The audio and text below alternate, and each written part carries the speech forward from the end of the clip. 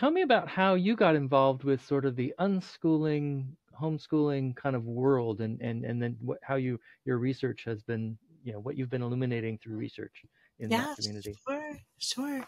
So I was a young mom and I was going to school and raising my child at the same time. Mm, And I remember literally in like 1999, there was a New York Times article about Deci and Ryan and intrinsic mm, motivation. And I remember reading it and I remember thinking at, at the time I was like finishing my bachelor's and thinking about master's level studies.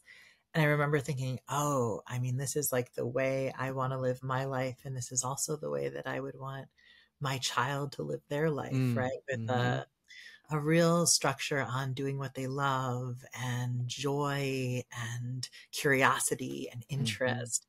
And I got it was such a gift to be able to witness that firsthand in my child, right? When you have a mm. young child, when you have a toddler, it's super easy to witness intrinsic motivation. You witness it every day, right? Every day it's like, oh, oh, right, this and that, and it's so cool.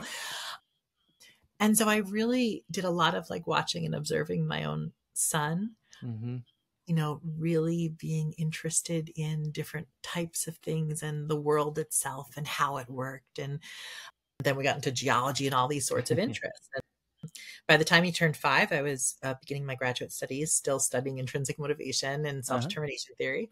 And it was kindergarten time, and there just seemed no need. Mm. And he was already curious. He was already like really reading and thinking about the world and doing all those cool things. In New York State, kindergarten is not mandatory. And Uh-huh. so, as a single mom, I kind of just said, maybe we won't do this for the year and then we'll hmm just see what happens. And so that's exactly what we did. We unschooled for that year. Right. hmm And it was hmm so cool. It was like literally the best years of our lives. Yeah.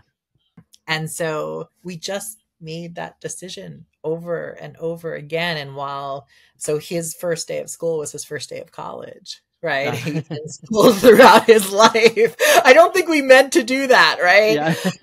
But, uh, but really, as, as he got older and not, you know, not that much older than six or seven, it really became a, a conversation and his decision. Do you want to go to school? Do you want to look at different models? Do you want to, like, what Mm, do you want to do? And it was sort of like, yeah, I just want to keep doing what I've been doing, right? With a little hmm exploration in different school models and the teen years and things like that. But hmm every year he chose to unschool. Hmm. And so while all this was happening, I was also doing research. Right. Part of my goal, we had a lot of we had a lot of people that were really very not supportive of the decision to unschool Ah, yeah. because it was so different. Yeah. Right. And here I was, I was a young mom, right? So what did I know? right so because it was so different my mother comes from a you know a, background where she was a guidance counselor in a public school Mm. and here i am teaching teachers and psychologists and Right. really different right and so there was a lot of criticism and there was a lot of uncertainty Mm. and i almost felt as i did my master's thesis on intrinsic motivation in homeschoolers in 1999 and i did my doctoral dissertation later on Mm. it almost felt like my job was to legitimize this form of learning Mm. for for pretty much myself and my family i just wanted to right like it wasn't this big educational experiment there was Right, right. some you know and at the time there was no research on it right so Mm.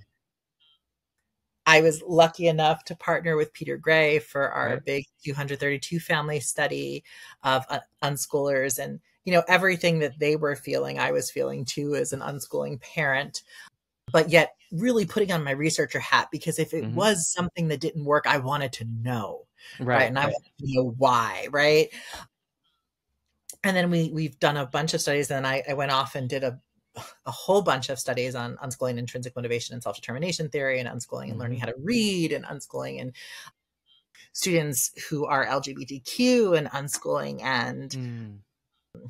you know students with disabilities and so Right.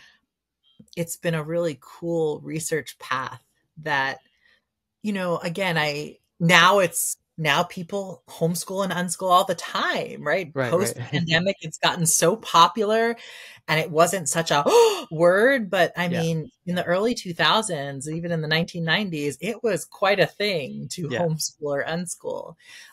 Yeah, so that's what I mean. I, throughout, I've always used self determination theory Mhm, as mhm. the, the framework beyond, behind unschooling. I've always thought it was Mhm, mhm. And I wrote a book, you know, and, and that had a chapter about self determination theory and unschooling. And um, I still think it's it's that's what unschooling is. It's intrinsically motivated learning. Right, right, exactly. This is the Agentic Schools Vodcast, where you will learn about schools from around the world where children's agency to make decisions about their learning and living is more important than their academic skills.